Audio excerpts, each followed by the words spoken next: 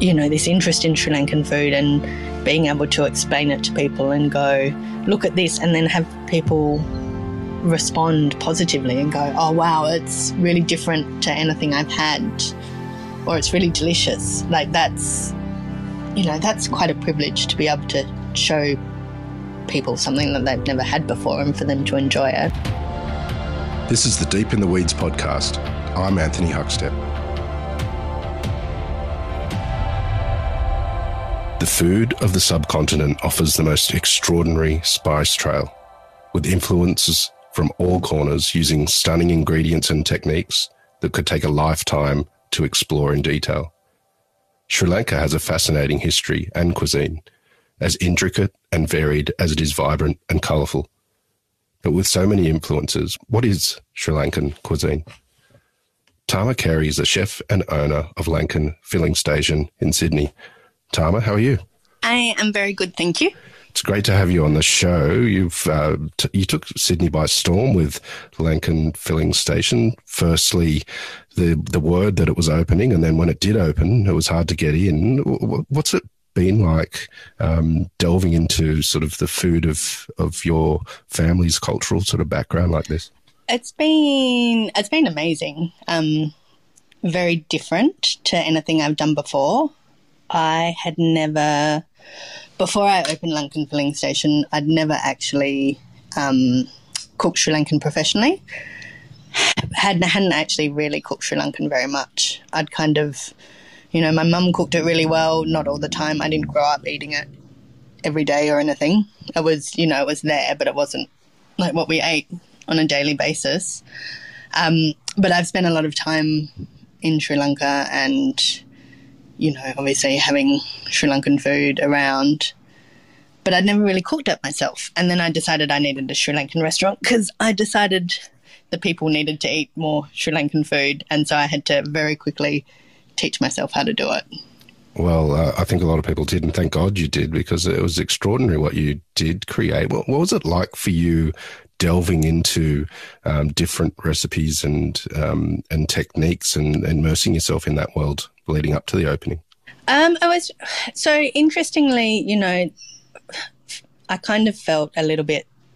I've always felt that the Sri Lankan food stuff for me was a bit removed in terms of I was a chef or I am a chef, and you know I've cooked all sorts of different things, but the Sri Lanka food was kind of separate to that.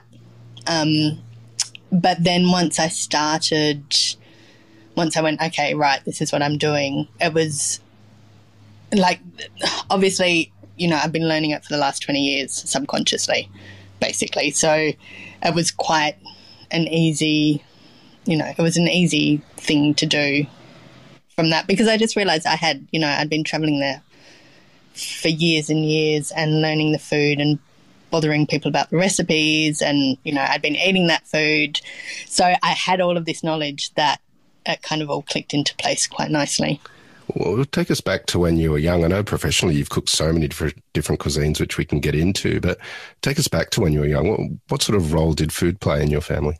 Uh, I was one of those lucky ones who kind of grew up being surrounded by good food and people who wanted to eat food and, you know, families of very excellent cooks. So, um, but interestingly, I did not eat as a child. I refused to eat, was very uninterested in food. Um, yeah, didn't care for food. Didn't couldn't go into butchers. Like up until about the age of fifteen or sixteen, I refused to go into a butcher or a fish shop because I thought they were stinky. Um, even though at the time I was working at the Adelaide Central Markets, so I kind of had, you know, this immersive food stuff going on, but at the at the same time, I kind of didn't really care for food. Mum said trying to feed me as a child was horrible. We um we actually spent I think about six months when I was about two ish in Sri Lanka. Mum went there for a big, long stint, and I was there with her for a while. And I ate nothing but rice and papadums and bananas. That was all I ate. Yeah. So I didn't, and then it was like the food for me. I kind of, even though I was surrounded by it all, and you know, interesting things, not just like mum, you know, we ate a lot of we ate food from all over the place, and you know, there's lots of good Greek food in Adelaide. We always went to Asian restaurants where I would just hide under the table and ignore what was going on. But so I had like the knowledge around me, but I just didn't eat really. Well, when was it? When was the turning point? When when did food become of interest to you?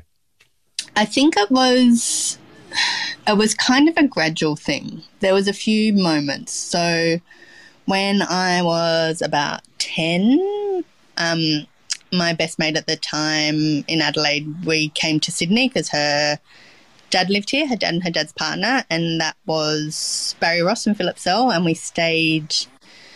They had it was when they had Oasis Seros on Oxford Street, and so we stayed.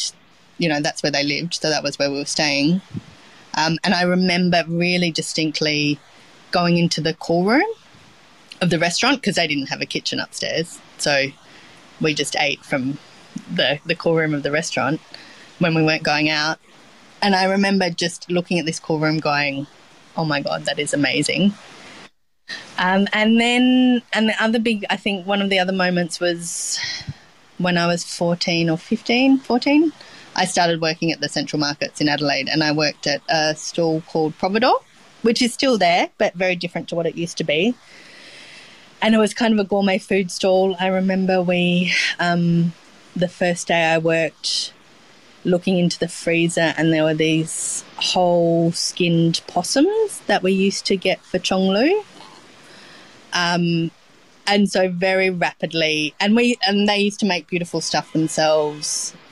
Providore had their own brand and they made pates and olives and we had fresh pasta. There were beautiful cakes, um, truffles, bread. They kind of gourmet food shop. Anyway, so I started working there and I think that was probably a big um, influence. But we used to go to the markets every Saturday. That was how I got the job because my mum bribed the owner with, I think, free theatre tickets and said, give my daughter a job, would you? Um, and so yeah, it was around that time that I kind of I think it was all those things influenced it. Well, it's extraordinary for someone that didn't have an interest at all in f- food to create a career in food and such a successful one. What, what was the first step into the industry for you? It was purely by accident. It was a big mistake. It was um I had no you know, no leanings towards it. Um, and then I went traveling like you do when you finish school um, with no idea what I wanted to do. I think I still wanted to be an actress at that stage of my life. Um, and I arrived in, so that, that was really important. So I traveled from Australia to Sri Lanka and I went with my mum and a friend of mine. And that was, since I was a baby, that was the first time I'd been there. Um, and we had a good six weeks there. Um, and it was amazing traveling around with my mum. You know, we saw family, we saw friends. I saw where she grew up. Um, I ate so much food. My mum was shocked. She was like, I've never seen you eat so much food ever.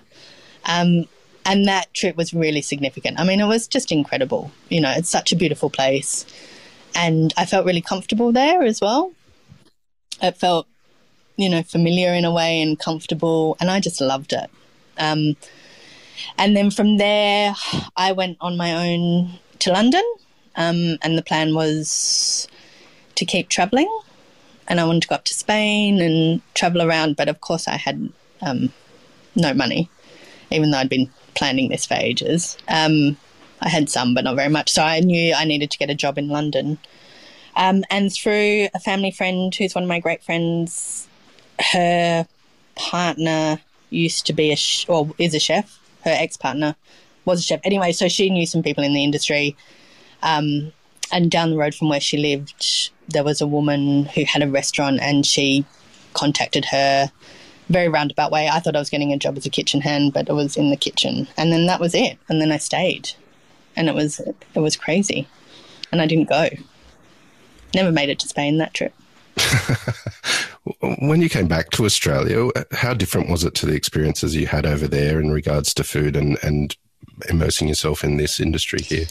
Well, I mean, in when I was in London, it was just a bit of a like I wasn't. I was really young, um, and it wasn't a career for me. So it was it was just fun, and it was pretty outrageous. So it wasn't it wasn't a serious thing for me. But what I did was really aware of being in London was um, the knowledge that I had about food and about Asian food, but just about food in general, because it was pretty like London food scene wasn't it was a bit bleak back then, really.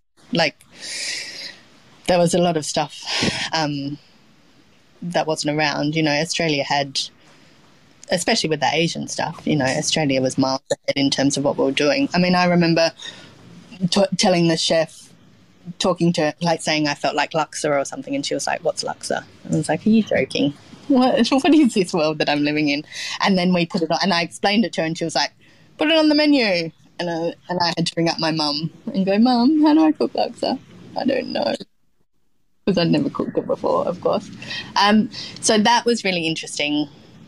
The I suppose I like looking back, I must have, you know, for me, I just kind of fell into this job and I was just doing it. But looking back, I probably obviously was good at it then, because um, otherwise I would have got sacked. But I was good at it, and I think I had a lot of food knowledge just from osmosis, just from, you know, life, because I had this life that was all about food without really knowing it, knowing any different. You've worked at some extraordinary uh, restaurants in Australia, very different cuisines as well, with the French at Bistro Moncur, um, Billy Kwong, um, and Italian as well with Berta. Um, what did you get out of those cuisines and experiences? Uh, well, also, I mean, every, every, each of those jobs was really distinct for me and really like fundamental to my learning because I mean I never went to TAFE, so I didn't have any formal training at all. Um, and so when I ended up back in Australia um, and eventually in the kitchen at Bistro Moncur, I mean, one of the things that kitchen taught me was, you know, how to be in a formal kitchen because where I where I was in London was pretty loose. Um, and so, you know, Bistro Moncur was amazing for the food then was just so delicious. And it taught me how to be in a kitchen. It taught me, you know, the fundamentals of French cuisine, which I think is really important to learn and to know.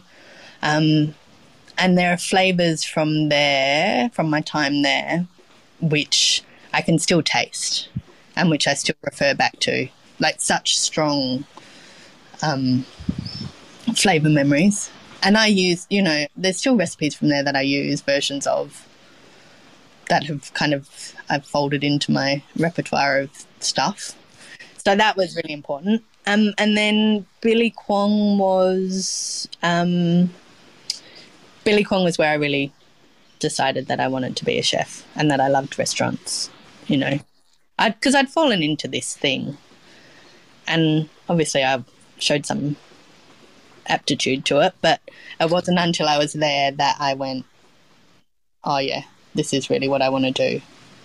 And that was all about, you know, it was about the produce, it was about the way the restaurant was run, it was about the people, it was about all of it, really.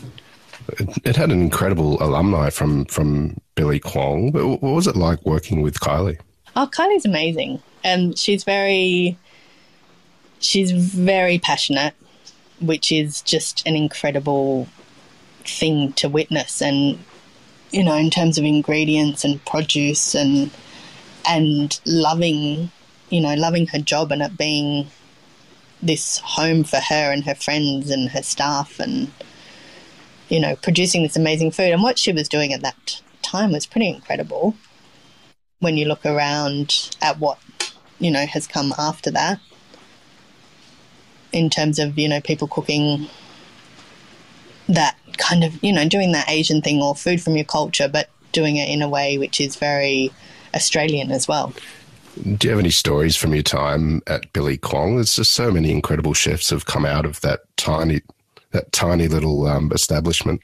Yeah, there was. I mean, look, it was amazing. I was there for nearly five years, um, and you know, the people who I worked with there, a lot of them are still some of my closest friends. I mean, Matthew Moo, he's my partner, and that was where we first met, and that was you know almost twenty years ago now. So it was a really excellent group of people. Um, you know, obviously there were peaks and troughs over five years, but there were moments there where there was just so much talent in that kitchen, and it was just it was a joy to come to work, and it was it was so much fun, like you know, being that busy and cooking delicious food and using beautiful produce. It's kind of the peak of what you really aim for, I suppose, in a restaurant. And we we were there for it, and it was amazing. Tell us about Berta, the transition from cooking um, Chinese food to a, a, an interpretation of Italian cuisine down a little laneway hidden away in the city. Um, Berta was was amazing, but what was it like for you as as a head chef for the first time? Um, it was really good. I mean, so I left. Uh, I left Billy Kwong and kind of didn't have anything lined up. So I had a couple of years out in the wild where I was just you know, helping out and doing consulting and doing some parties and just doing bits and pieces. And one of the bits and pieces that I was doing was um, I started doing a few shifts at Vini, which was Andrew's first restaurant. Um, because I used to go there for lunch and I lived around the corner. And I remember having a chat to him one day because I knew him because he, funnily enough, did a trial at Billy Kwong when he first got back from Italy before Vini. And so that's how I'd met him. Um, and we'd offered him the job, but he was like, no, which was lucky because he went off and opened Vini. Um, so I kind of knew, I didn't know him that well, but I knew him enough and I was telling him my problems, like freaking out, like how I was going to pay my rent. And he kind of said to me, we can give you two shifts here a week um, if you like. And that was great because for me, just those two shifts gave me enough security to know I could pay my rent every week because I was living on my own. Um, and, you know, so that made it all a little bit easier. So I started doing bits and pieces there. Of course, he pulled me in, and I ended up, you know, I think Dan went away on holidays, who was the head chef, and I ended up having to work there for six weeks. And um, I kind of got more and more sucked in. But then it was when he was looking at the Berta site and thinking of opening another restaurant. Um, and so a couple of years in, he kind of said before, so I'd been hanging around Vini for a bit, and then he um, told everyone that he was going to ask me if I wanted to run it, but he didn't ask me. So when he eventually got around to asking me, which is just a bit of a Cibej thing to do, um, I was like, yeah, sure, I'll do it. And he's like, it has to be Italian. And I was like, okay, I can do that. Um, me, of course, going, yeah, of course I can do that, fine how hard can it be? Um, but for me, Berta was just amazing in terms of um, cooking my own food and being the boss and just being able to cook whatever I wanted. And it was, you know, I threw myself into it wholeheartedly. I read so many Italian books, cookbooks. I just, we went, I was lucky enough to go to Italy a couple of times with Andrew on wine. Wine buying things. Um, so it was pretty full on. And we did the Sagra dinners, which were the once a week. We would, um, each week there was a new ingredient, and I'd base a whole dinner around that. So three or four antipasti, a mid course, supreme, usually a pasta, main course, and a dessert. And they were quite ridiculous. And I did a new one every week. And I changed the menu every week. Um, and so it was just a roller coaster of just being completely absorbed into a into a um, restaurant and not being able to leave and not being able to do anything except constantly write menus, which was, um, in terms of, you know, l- creativity was incredible because I was forced into it.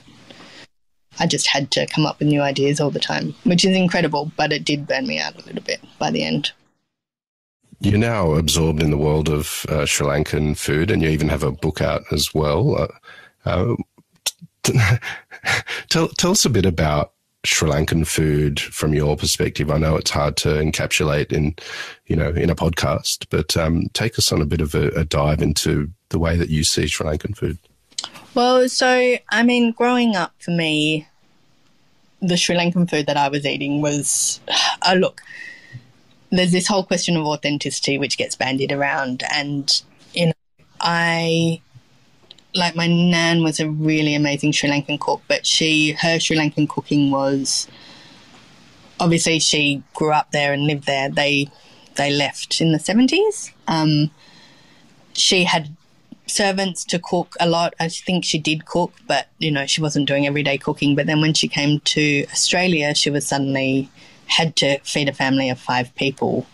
So her and they they weren't at the time they weren't allowed to bring very much money over. I think the White Australia nonsense. Don't know what happened. Not much money. So they weren't um, they weren't poor, but they weren't really well off. So her Sri Lankan food that I knew growing up and tasting was this. It was very Sri Lankan traditional, but it was with what you could buy in Australia in the seventies, which was probably a bit grim. Um, and also, you know, feeding a family of five on not very much money. So I think that, you know, that gets obviously wound into the ingredients you use and the style of cooking you do. And then my mum's Sri Lankan cooking was, um, you know, based on her childhood memories as well.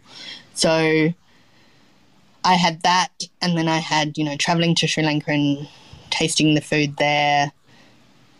So there's all these, you know, just in my Sri Lankan world, there's a lot of different influences. But then you look at the country as a whole, and historically, you look at all the influences they've had, and they've had.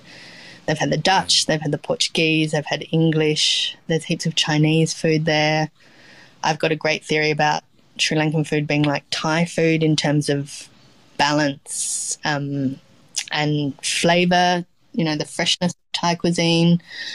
But there's so much there, and that's part of the reason why I wrote the book because I think, well, you, why would you know that? No one would know that because why would you? You just, you know, people want to know what Sri Lankan food is, but it's really hard to capture that easily because there's so much, so many influences. You know, obviously it started in India, but then it's been layered upon layer upon layer, and it's this really distinct for this tiny island. There's a really distinct flavor profile and cuisine and style that you don't get anywhere else. I suppose that's true for any country, but um, but we're talking about Sri Lanka, so we can just talk about that. well, tell us a bit about Lankan Filling Station. Can you can you talk about the food or a dish or two that kind of exemplifies sort of what you, what you're what you're doing there? Um, so the first idea, so it started life as just a hopper shop, a really simple hopper shop, because hoppers, are they were one of my favorite things in Sri Lanka, um, and they're um, so they're the bowl-shaped fermented rice flour pancake. You make them in a hopper pan, and they're really beautiful, lacy. They've got crispy edges. They've got a doughy middle. Um, you can have egg ones or plain ones the egg ones are just the same. It's just got a egg cooked in the base of it. Uh, and when you're in Sri Lanka, there you either have them for breakfast or for dinner. They're kind of a bit of a street food. Like they'll have hopper stalls on the side of the road where you can buy a pile of hoppers and take them home and eat them with curries that you've cooked at home. Um, everyone's got a different recipe for them everyone searches for the best hopper. People have very are very opinionated about hoppers. Some people like the crunchy, crispy outer bits. Some people like the doughy middle bits. Um, they can be really delicate. They can be a little bit denser.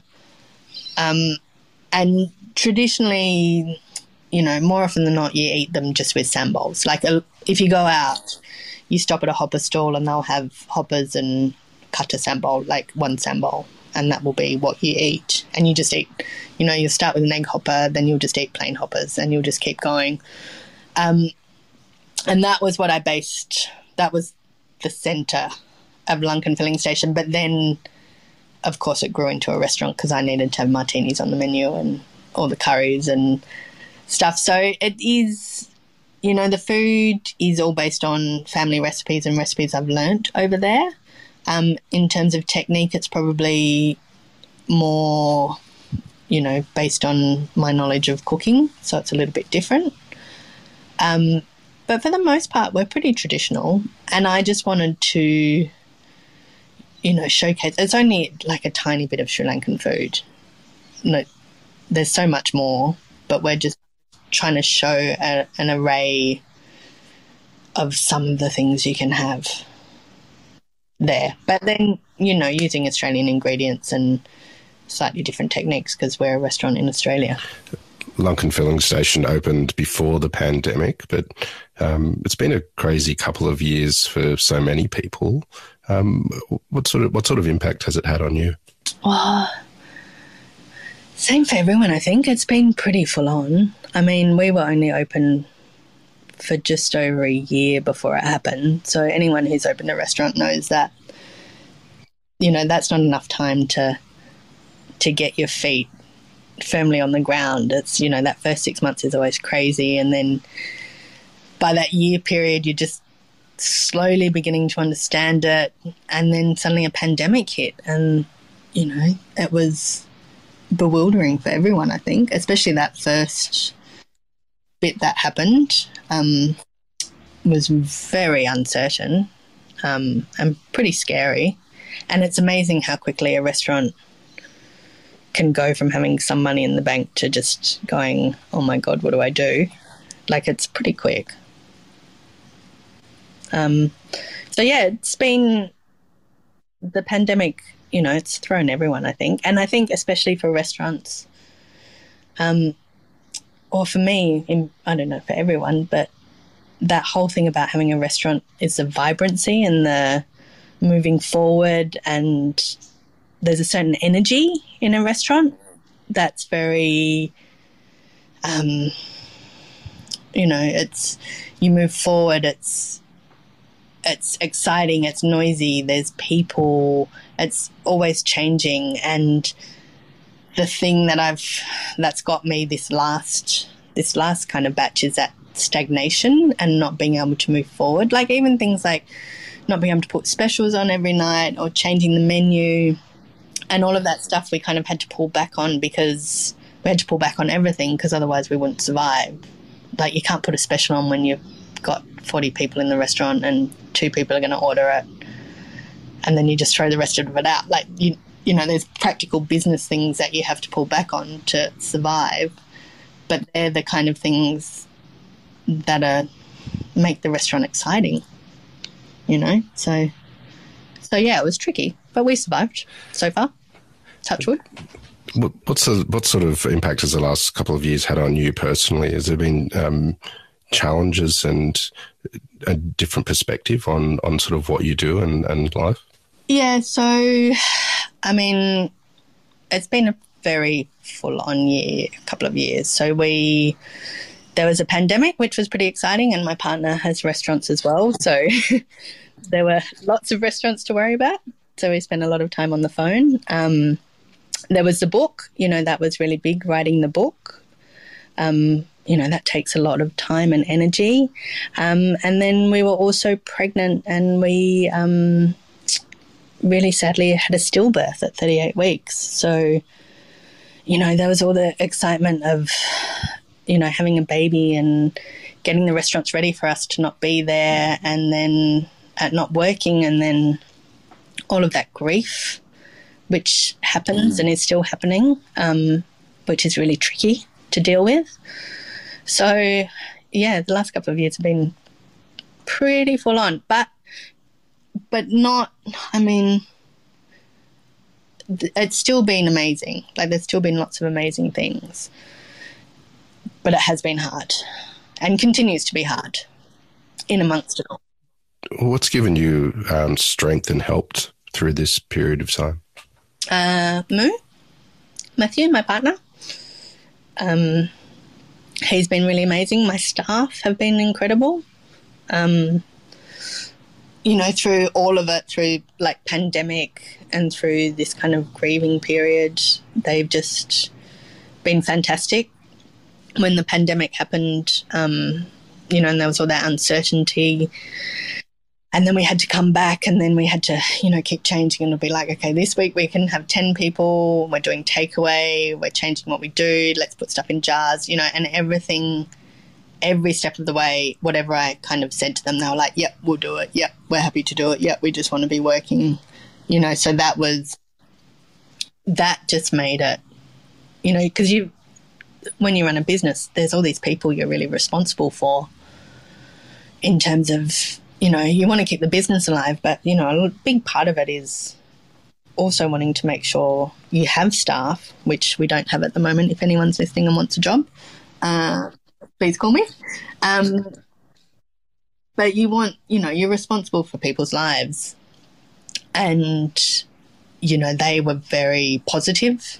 Um, and I can imagine it would be much harder if you were dealing with people who didn't really want to come to work. Um, so that was incredible. And then when um, when my baby died, they were they were also really, you know, amazing and helpful and just kind of just I just felt really supported by them one of the amazing things that have happened in the last couple of years for you is the popularity and success and interest in what you've created at Lankan Filling Station. Has has the interest and success of it um, and understanding of it surprised you? Um, I don't know. I mean, I like I feel like it's been well received, and it's but it's always very bewildering when you stand in a restaurant and you have quiet nights and you go, Am I doing the right thing? And then someone goes, Oh, it's the best meal I ever have. And you go, Oh, that's excellent. And then you get a review where it says, The portions are small and it's too expensive. And then you go, Oh. And then the next day you have someone say, It's so authentic. It's like my grandma used to cook. And then someone else goes, oh, It's Sri Lankan food for white people. Um, so it's a topsy turvy world. I don't know if anyone sits back and feels. I certainly don't ever sit back and go, wow, I'm so popular and my restaurant's so good. Um, I think in a day you have, I certainly have moments where I waver between, I love my restaurant, it's amazing and the best, and oh my God, we're never going to survive. And that kind of happens on a daily basis. So, but I think the fact that we're still there um, gives me hope. Well, it's amazing what you've created there. Um, I've, it's one of the things I miss about not being in Sydney anymore. Actually, is is your food and what you've created. Um, what is it that you love about what you do? Oh, I love all of it. I love cooking. I love making delicious food. I love I love restaurants. I love that feeling of um, being in a restaurant and you know welcoming people and having that buzzy feeling of people eating and drinking and being happy. I love that whole thing about hospitality and how you know you can make make someone have a beautiful meal or a beautiful night and a beautiful experience. Um, yeah, I love all of it. I love working with good producers and talking about nice food, like talking about nice produce. I love the. I've even been doing a lot of floor shifts, and I won't go as far as to say I love it, but there's something about it. you know, it's been an, it's been really good. Um, I'm not going to take it up as a career, but I love, you know, it's fun being on the floor and talking to the people and explaining the people. And the, I mean, the thing for me that's really great is, you know, this interest in Sri Lankan food and being able to explain it to people and go, look at this, and then have people respond positively and go, oh, wow, it's really different to anything I've had, or it's really delicious. Like, that's, you know, that's quite a privilege to be able to show people something that they've never had before and for them to enjoy it. I think that's, you know, that's pretty special. And I love having a team of people who I work with, not all the time, because sometimes they're pesty, but having a team of people who you know you can work with and work together and who get excited as well um, for this for this project is it's really fun. I just love it.